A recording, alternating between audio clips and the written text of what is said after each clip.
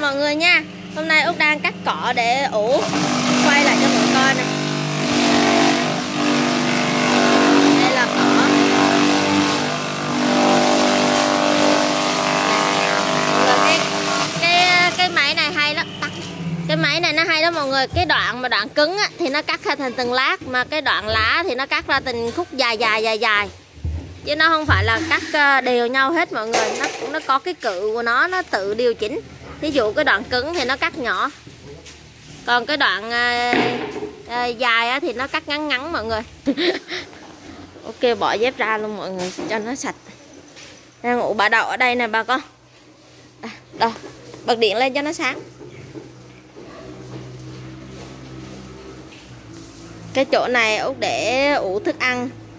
Mấy ép con viên ở đây mọi người này để rảnh rảnh út ờ, gắn lên út ép cho mọi người coi.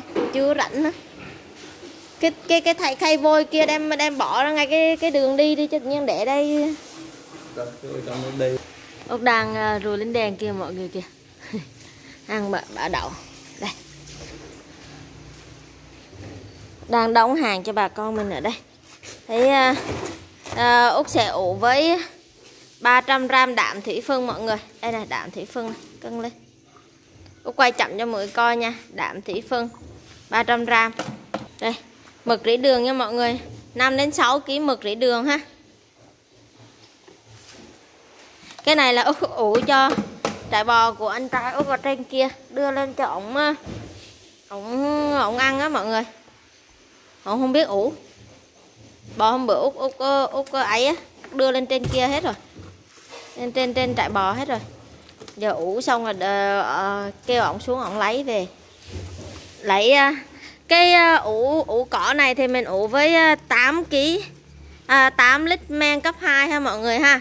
Út nhắc lại nha để ủ cho cỏ cho bò á, thì 8 lít men cấp 2 này đây là men cấp 2 mọi người. Còn men cấp 1 đây nè bà con đây đây là men cấp 1 ha.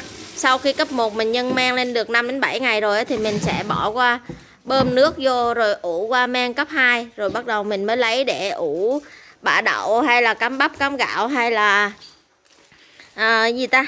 Cỏ nha. Thì cứ ờ, 8 8 lít men cấp 2 à, 5 kg mực rỉ đường.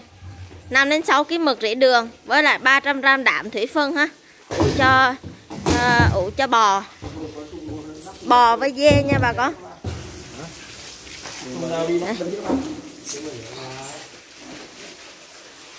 Xong ủ cho bò với dê quay cho mọi người coi. Đây. Đây là bả đậu men mọi người này đây này đây. Ê, gỡ gỡ ra cho út cái. Thì cái này là út bả đậu là út ủ sẵn rồi về chỉ việc cho heo hoặc là dê đồ ăn thôi bò đồ ăn thôi. Đây. Có cả đạm đồ trong luôn mọi người. Đây này đó. Đấy. Rồi được rồi. Găng lại đi chứ để không khí vô. Khi nào mình dùng tới đâu là mình phải găng kín lại nha bà con này lấy mấy cái cái bao phân á mình, mình cắt ra mình bỏ vô cho nó kín. Không cần gai gài cũng được. Có có đai thì gài còn không có đai thì mọi người phải làm cho nó kín nha. Đấy cái này là út à, mở ra ăn thường xuyên cho nên là không cần đai luôn. Kín là được. Đây. Đó.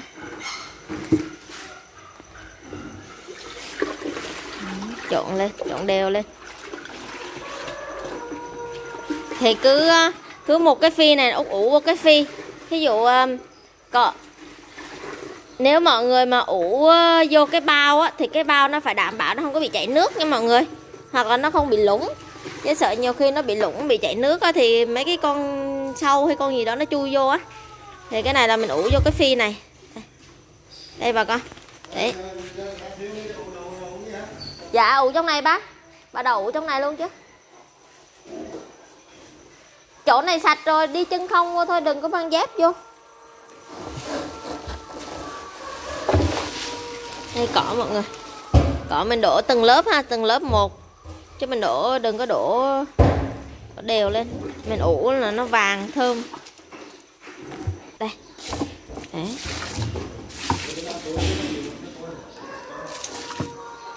Lấy cái cây. Ủ đây nè đó, ba để đó đi.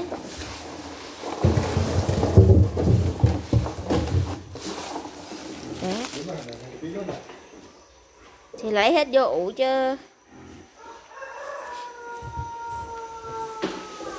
Một cái thùng phi này là út ủ xong út găng kín lại. 7 ngày nha mọi người. Cho nên là mọi người canh cái thời gian ha. 7 ngày.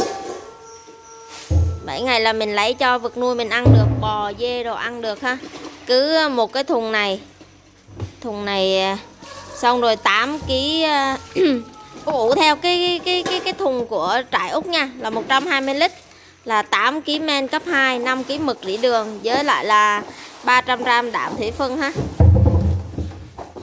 Là Úc cho bò bò với dê là ăn cái này, với thêm dê mà dê thúc thì ăn thêm cắm bắp mọi người.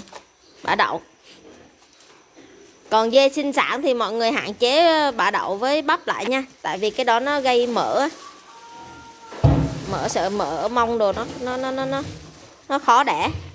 Cho nó ăn nhiều chất thô sơ. Đây này đổ vô. Đấy. út ủ cỏ xong rồi út sẽ ủ luôn cả bả đậu mọi người.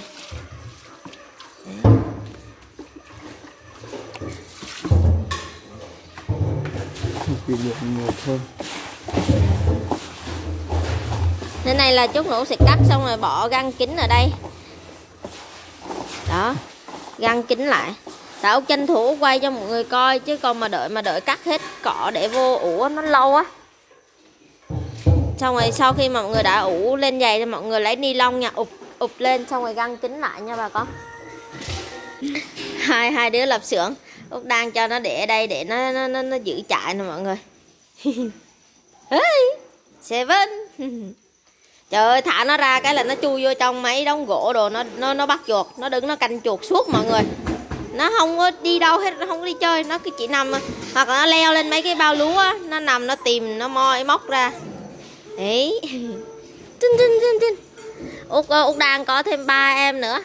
Út tại vì không có đủ tại vì phải để bên chỗ chỗ ờ, ở trại út thì út cũng có lắp camera rồi nhưng mà nhiều khi chuột đồ nó cũng hiên ngang lắm mọi người. Phải để thêm bên trại chim nè. Chim giờ đang còn lạnh cho nên út chưa có quay lên.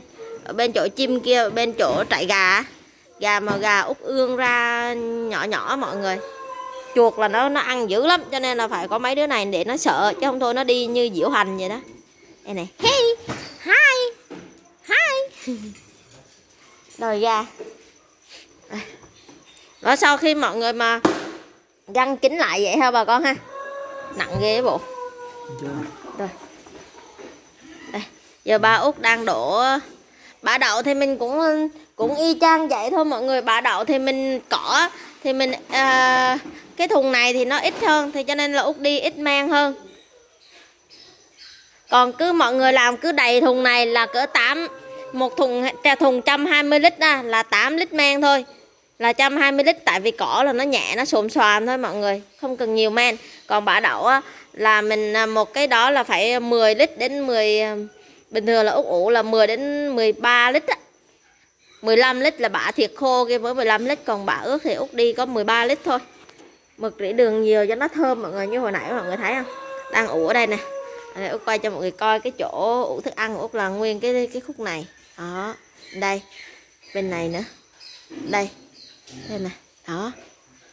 Đây là mấy cái cái cái lồng để ờ, bác heo út đặt đặt người ta làm á mọi người. Đây nè. Xịt sát khuẩn hết rồi đem để vô đây. Mấy cái ba ừ. thí dụ à út nhắc mọi người nha cái vôi này, là mọi người nên mua mua ở trong trại. Nếu mọi người chăn nuôi nên mua 10 bao 5 7 bao 10 bao để sẵn. Khi nào cứ cứ cái chuồng nào mà trống á là mọi người ờ, tôi cái vôi này ra xong rồi mọi người mọi người rắc trong cái chuồng nha. Ở ngoài đường đi đồ là mọi người rắc hết cái này là không phải dơ đâu mọi người mà là vôi á.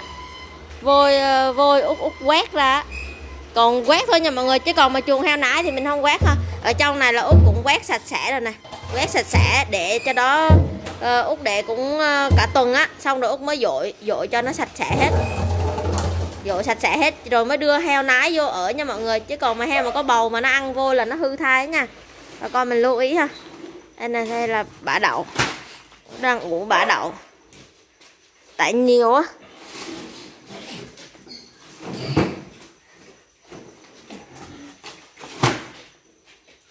Có cái bã đậu bã đậu hoặc là hàm bia cũng ngủ được nha mọi người. Bã đậu hàm bia, bã sắn, bắp lúa đều ủ được hết nha bà con.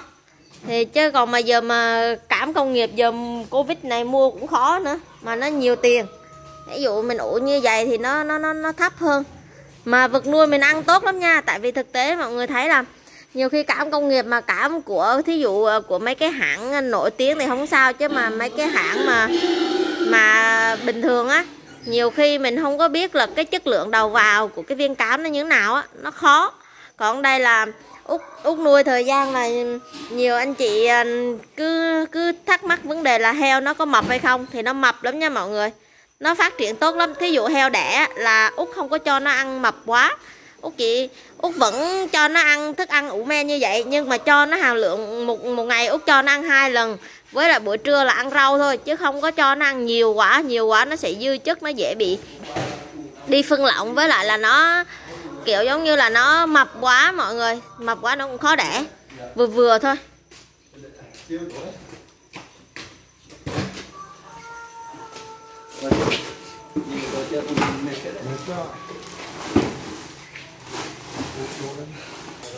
Rồi.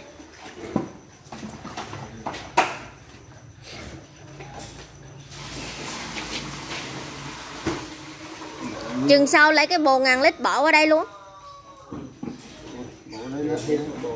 dời qua đây luôn chứ tập trung bên này luôn chứ.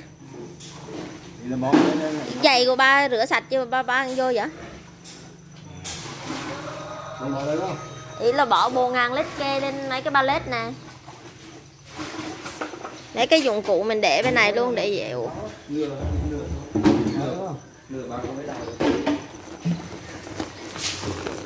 Ồ, cái bả này là hôm qua út dụ mà để hôm nay nó vẫn đẹp bình thường mọi người. Thì cứ ủ từ từ thôi chứ vội gì rồi mấy cái nắp này rửa sạch sẽ này. bên kia. Mấy con chim nó phá bụi. Đây. Đây. Giờ này mà nó còn thơm mùi bả luôn. Cứ 100 kg bả đậu nha mọi người. Cái cái cái cái cái cái phi này nè nó tầm cỡ chừng 90 đến 100 kg 100 90 đến 100 kg bả đậu mọi người đấy bả mà hơi ướt ướt thì nó nặng chút xíu còn bả khô thì nó nhẹ hơn chút xíu. Xe xích ở cái ngưỡng 90 đến 100 kg thì cứ 100 kg bả đậu ha là cho 10 đến 15 lít men tùy bả khô ướt nha bà con mình cân đối nha. Rồi 300 gram đến 400 gram đạm thủy phân. Đạm thủy phân là cái cái chất đạm mà trong cái bao cám đâu rồi có cái bao cám á, người ta sẽ ghi đây này nhiều nhiều bà con chưa có rõ cái đạm là cái gì. Đây đạm nè mọi người thấy không? Ở đây nè. Cái này là cái bao cam cá hay gì ạ đạm tổng ờ, số nè. Đây là mọi người 18.5 ha. Ở trong này nó có những cái thành phần này. Thì mình ờ, bổ sung cái này là cái đạm này. Đó 18.5 đó. Thì mọi người có thể sử dụng tất cả các loại đạm trên thị trường. Thí dụ đạm thủy phân đạm rồi lính đen thủy phân hoặc là đạm cá. Hoặc là đạm uh, gì ta? Đạm ờ, mấy cái con cua đồng á mọi người, nó cũng gọi là đạm, để mình bổ sung thêm cho vật nuôi của mình. Sau sau canxi đồ sau ừ, sau gạo đồ cũng xay ra, cũng bỏ, bổ bổ sung thêm đạm được. Quan trọng là nó rẻ và nó tiết kiệm, nhưng mà nó phải mang lại hiệu quả trong cái khi mà mình nuôi con vật nuôi mình nó phát triển phỏng phao á. Thì mình dùng, mọi người nên dùng một cái loại đạm xuyên suốt trong quá trình mình nuôi luôn, chứ đừng có đổi. Tại vì cái con vật nuôi nó nó phải có thời gian để nó thích nghi với cái đạm. Cho nên là nhiều khi bà con mình à, à, đổi là mọi người phải đổi từ từ. Đó. Chứ không cứ hôm nay đạm này ngày mai đạm kia là mọi người đừng có đổi. Thí dụ mọi người muốn đổi á là đang dùng đạm này mọi người đổi qua cái loại à, đạm khác á thì mọi người nên cắt nó từ từ từ sau bắt đầu mọi người chuyển qua. Sau đó mọi người dùng cố định luôn nha. Đừng có thay đổi. Để nó nhiều khi cái con vật đuôi nó không có quen nó dễ, dễ dẫn đến kiểu nó nó đi phân lỏng á mất công mình phải xử lý nó mệt. Thí dụ mà trong cái quá trình mọi người mà chuyển đổi cái đạm á, thì mọi người nên bổ sung men tiêu hóa cho nó để cho nó hỗ trợ thêm hệ đường ruột của nó cho nó thích nghi ha.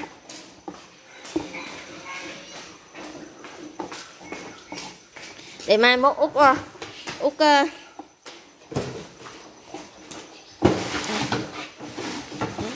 đổ.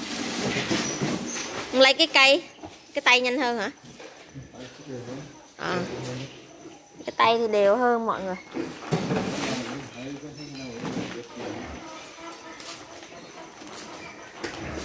Một trăm ký bạ đậu hơn mọi người Út nhắc lại nha.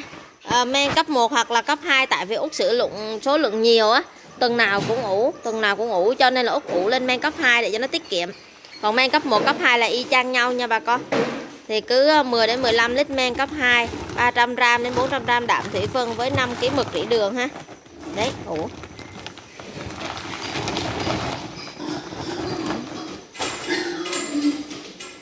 Cho nó hết chứ đừng để nó xuống sàn dơ. Đảo đều lên rồi găng kính lại như đây nè mọi người như mấy cái lô này này hôm qua ủ cũ nè.